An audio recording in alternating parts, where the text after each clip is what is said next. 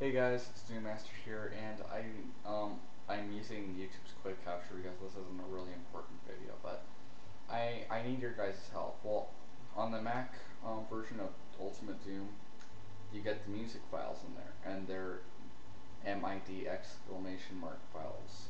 If you're confused, let me show you what I mean by that. Um, now Mac users probably have a solution to this. I don't know. Hopefully they do because I, I have no idea what to do. But um, okay.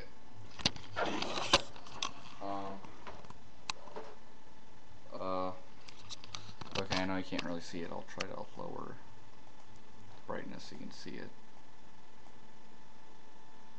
Uh, make it. Hold on.